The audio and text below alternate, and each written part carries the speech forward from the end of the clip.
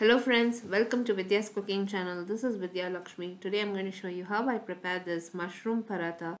People who find it difficult to prepare parathas, then stuff it and then roll it out can try this recipe. It's very simple. I've used ready to use Kerala parathas for this and uh, we need to prep all the ingredients ahead of time. So that's all. Here I have uh, sliced and reserved button mushrooms. I have shown you in my previous videos how to clean button mushrooms, how I slice it for any recipe.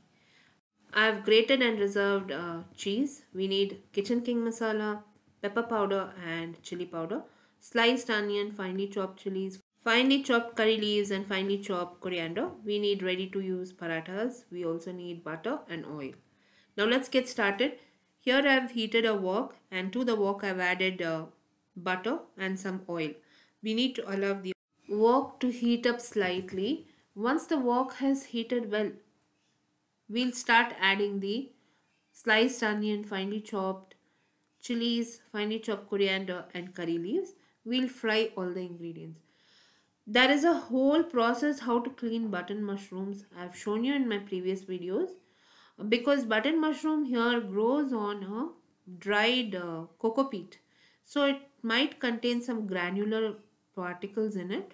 So it's better you soak the button mushrooms in some water. Allow it to soak for at least uh, 15 minutes. Then rinse it twice and drain it in a colander. Allow it to drain for at least 15 to 2 minutes, 20 minutes in a colander and spread it on a towel for 15 to 20 minutes. Add dry it. Then slice your button mushrooms.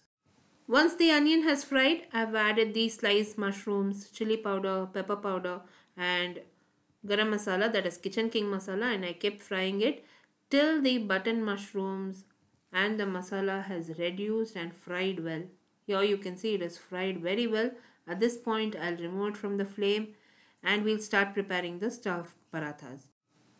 Now I've heated a tawa on medium flame. To the tawa I'll be adding the ready to use parathas. I've already so shown you how to prepare lachha paratha or the layer paratha in my previous videos. I'll link that also in the description box below this video.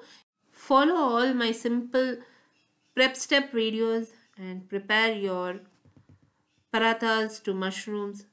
Try to prep it yourself from the start, from the scratch. Now once I fried the paratha to one side, I flipped it to the other side. The flame is on low. To one half of the paratha, I'm spreading the mushroom filling. We'll top it with the cheese and fold the other half of the paratha. And we'll drizzle tiny amount of oil and fry the paratha on both the sides till it turns golden brown in color. And the cheese also should melt inside of course. So this is a wonderful stuffed mushroom paratha that you can prepare and serve any time of the day. You can prepare this for breakfast, for lunch, evening tiffin or dinner. It is very nice and tasty, very nice and filling. Just two of these parathas with some mint chutney is perfect. So try this friends and post your comments. I highly recommend you prepare all the ingredients. You prep and prepare all the ingredients yourself like the parathas, mushrooms, sliced mushrooms, try to prep all the ingredients ahead of time and prepare this ahead of time so that your parathas turn out excellent. Any time of the day you can prepare this and serve this. Hope you all enjoyed watching this video recipe friends. I've served my mushroom paratha.